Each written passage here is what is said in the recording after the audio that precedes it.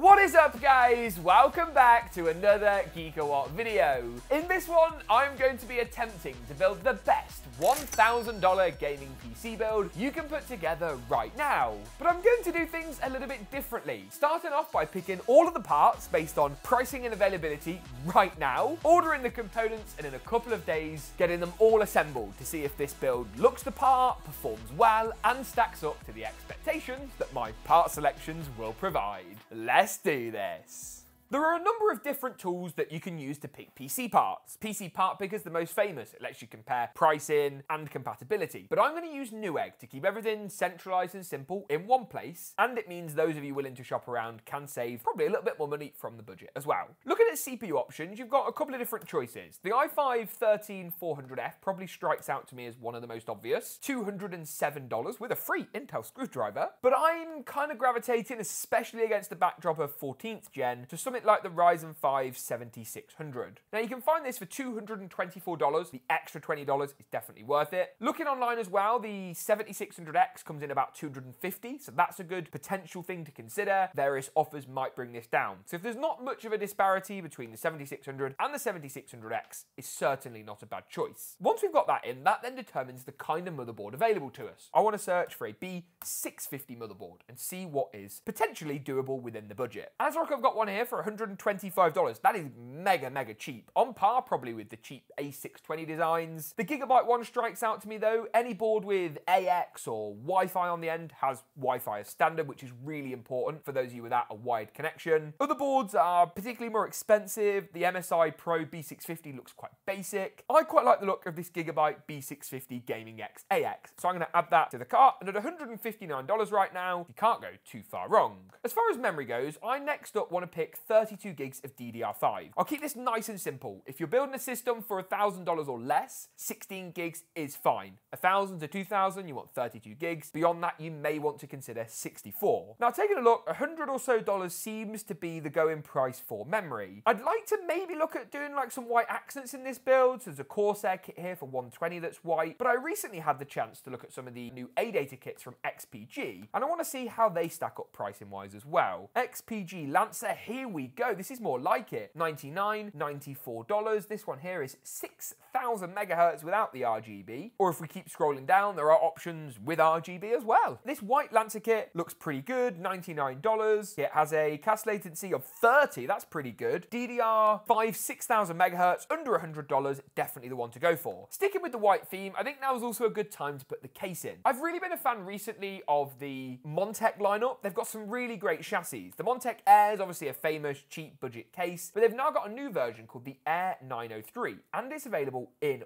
white for $74 with RGB fans, or the base model without the RGB fans is 69. I think that's very reasonable, and I'll let you guys decide which you prefer. I'm going to go RGB as for 6 $7 more, you're never going to be able to pick up three RGB fans. It supports eATX motherboards, it's got 140mm PWM fans, even supports apparently RTX 4090 GPUs. That's definitely going to be fine for the kind of build we're looking to assemble here. As far as other components go, we've got the CPU, we've got the motherboard, the RAM, the case. We need a cooler for that processor. Now, take a look at some of the options. Deepcool's AK400 is always a sensational shout. This black one is $34, but you get an extra $7 off with the promo code. I mentioned white accents though. It's something I want to go for. Same price, in white, $6 off this time. I think we'll spend the extra dollar to get the nice white aesthetic. Put that straight in the cart. Now you can see here we're up to around about 597 so far. With the discounts and the combos, we're down to 556 US dollars. And we've got pretty much half of the components. Looking at other bits, I'm missing a power supply at the moment. So that's another area I think I need to revisit and find something suitable. I'm going to hedge my bets and reckon that something about 750 watts is going to make the most sense. Corsair got their RM750 for 120, but with the promo code 105, a little bit more expensive than what I probably wanted to spend. RM750 for 100, 89 for the CX750M, that's going to work fine. We may revisit this afterwards, depending on, of course, whether or not it's enough wattage, but I imagine for a build like this, it definitely should be. Up to 687 so far, and just one more component to go. We want to go for a Gen 4 PCIe NVMe drive next up. Storage nowadays is actually kind of easy to pick. Spending $1,000 or less, you want a one terabyte, middle of the road Gen 4 NVMe. Spending more than $1,000, go for a two terabyte drive. Spending loads of money, consider the new PCIe Gen 5 options. Thinking about it actually, we've gone for the XPG memory. I want to see what options that XPG or ADATA have got available here as well. This is interesting. The S70 blade. This ships direct from XPG. S70 blade, 54.99. A terabyte, it's got really good read and write speeds. It's not the highest end Gen 4, but it's so much quicker than the Gen 3 options that for me, it works perfectly. That leaves us at $701. So we've got $300 or $298.11 left to spend on the graphics card. So let's see where we're at. In order to pick a good GPU, we need to sort of understand the state of the GPU market. So here's the quickest outline I'll ever give. For the sub $400 price point, you are really struggling when it comes to next gen cards. RX 7600 and RTX 4060 are the two options. 4060, rubbish. Don't buy it. No one should buy that card. Nvidia shouldn't have even made it. Don't even consider it. AMD RX 7600 is better, but it's still not fantastic. And that leads me to consider last gen options. Something like a 3060 12 gig. Or better, something like an RX 6700, if it will fit within the budget. Now you can get this XFX card for mega cheap. $279 is like incredibly cheap. But I've had good experiences with some of the cards from Sapphire. And at 309, it's not the cheapest RX 6700, but it's one of the cheapest. In our testing, the 6700 XT consistently holds up really well. Take a game like Starfield, for example, 1440p high, and we managed to get 73 FPS out of the 6700 XT. Here, the extra 12 gigabytes of VRAM over the 8 gigs on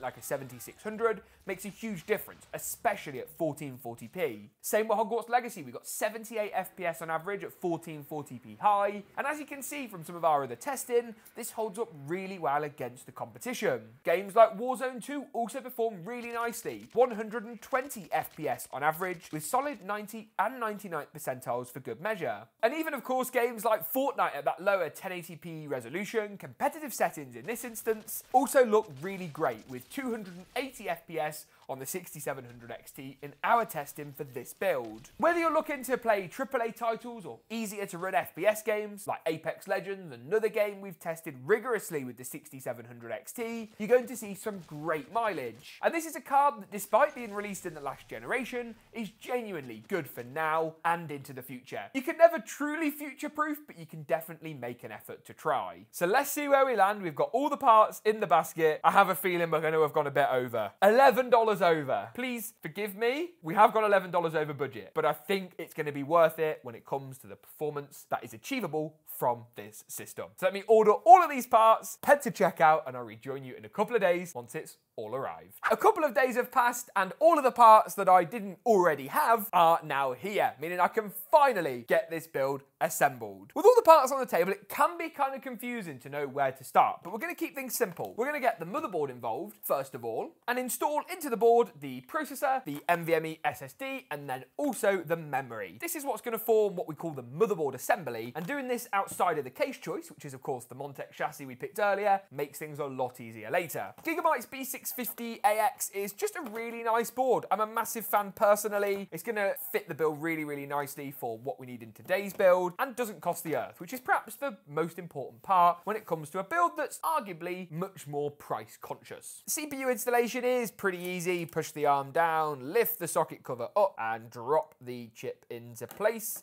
Nice and simple. Cover back down, arm in, and we're good to go. RAM is next on the agenda. 32 gigabytes of this XPG Lancer is going to do the job nicely. I don't think I fully realised just how good this RAM would look until it arrived, but I am a massive fan. In this build, I'll be using slots 1 and 3, which is rather confusingly the second and fourth slots for dual channel memory performance sliding the RAM into place. Nice. Bit of pressure on both sides and the RAM will click in with basically no trouble or bother whatsoever. While I'm here, I'm also going to go ahead and remove the M.2 heatsink to install the NVMe drive. You want to use a teeny tiny screwdriver for this stage. Your large Phillips head is simply going to be too large. Take that out. That will reveal the M.2 slot. We can pop the Gammix S70 in and secure the heat spreader down for good measure. This not only hides the drive and looks nicer, but it keeps it cool, which is important for hot Gen 4 NVMe's. Once that's done, the motherboard assembly is basically there, but I'm also going to pop the cooler on now while I have time. And I appear to have messed up a little bit. And when I say a little bit, I mean quite a lot. I've bought the wrong cooler. It's supposed to be white with one fan. This is black with two, which would be good if I was building a black system, which I'm not. So I'm going to install this for now as the installation process is the same as the white version, but hopefully there'll be some nice snazzy shots on your screen by the end of the video with the white version, which is obviously the right cooler for the build. So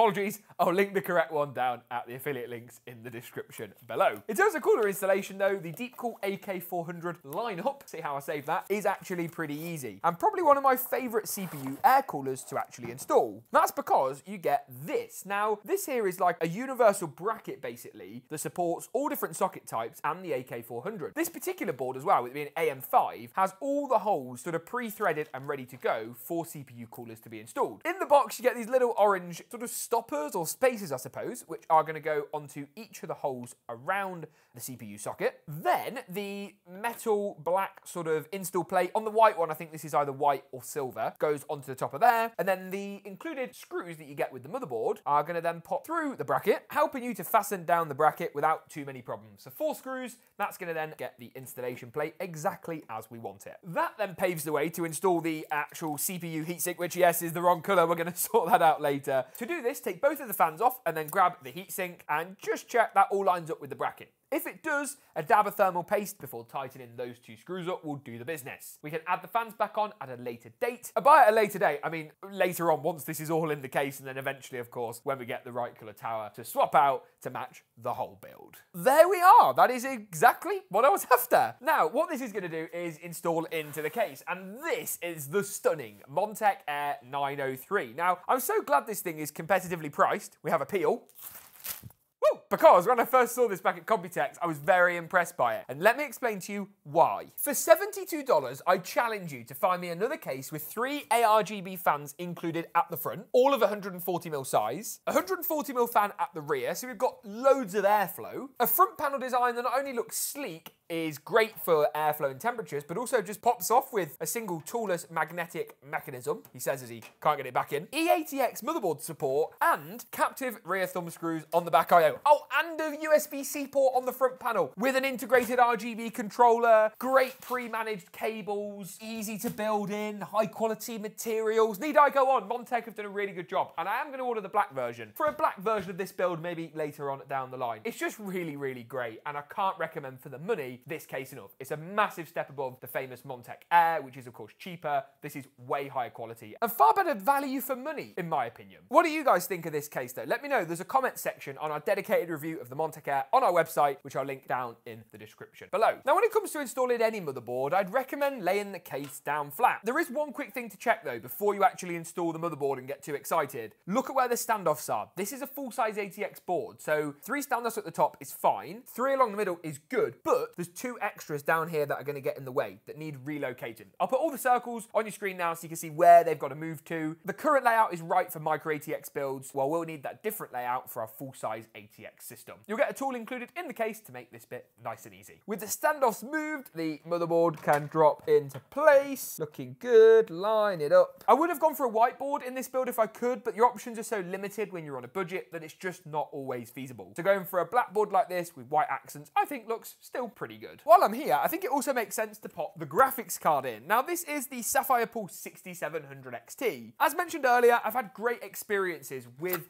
the Pulse lineup of cards, both in terms of this exact 6700 XT model, and also with the newer RX 7700, RX 7600. It's just a very solid design, all in all, and it's going to fit really easily into a chassis like this one. As far as performance goes, this thing really is top notch, not only at 1080p, but also 1440p with the extra VRAM. Don't get me wrong, it isn't going to be 1440p Ultra in all the latest titles, especially not on par with something like the new and far more pricey 77 and 7800 XT models. But this thing is still really damn good. I'm going to push back the clip on the PCI slot on the motherboard. Graphics card is to slide in. Is that lined up? Yes. Oh no, nearly. There we go. I'm a professional, I assure you. Once that's in, push it down, get it clicked into place. Is that clicked in? It is clicked in indeed. Couple of screws just on the left-hand side here will secure the GPU, and then basically the core components are all done. Lift the system up, and it's just the power supply left to go. I've picked up the Corsair CX750M for this build, a nice semi-modular 750 watt power supply. What do you guys think of this build? Let me know in the comments down below. I think I'm going to leave you with an awesome glam montage of how amazing this thing looks when it's all powered up. What did you guys think of this slightly different format video? Let me know in the comment section down below. Thanks for tuning in though, and as always, we'll see you in the next Geek GeekaWhat video.